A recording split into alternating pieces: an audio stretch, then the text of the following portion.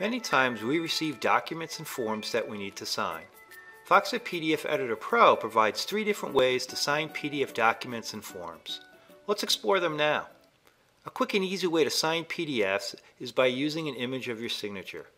Go to the Fill and Sign tab and import an image of your scanned signature into Foxit PDF Editor Pro. Once the image is imported, you can place your signature anywhere on the document. Please keep in mind this method does not have the verification and security as the other two signing methods we will describe shortly.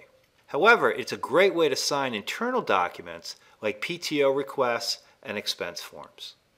The two verified and secure methods to sign PDFs can be found under the Protect tab. Here you'll have the option to sign using a digital or an electronic signature. To sign with a digital signature, you need to have a digital certificate. You can create one from Foxit PDF Editor Pro or obtain one from a reputable third-party certificate authority. For this example, we will use a PDF certificate created from Foxit PDF Editor Pro. To start, click over the Sign and Certify button and select Place Signature.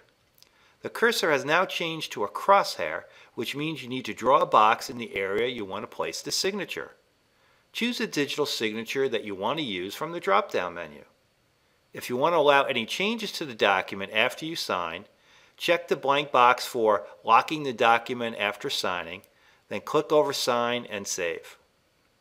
Now your document is digitally signed.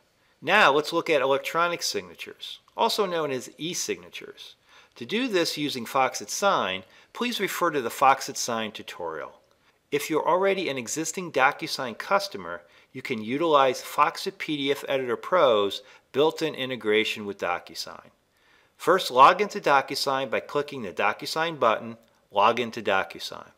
After login, the PDF will be uploaded to the DocuSign cloud where you can sign and send documents via DocuSign. After you sign a PDF document with a digital or electronic signature, the document locks further edits or changes. Therefore, if you go to the Edit tab, you will find that the features are all grayed out. The same thing happens if you go to the Organize tab.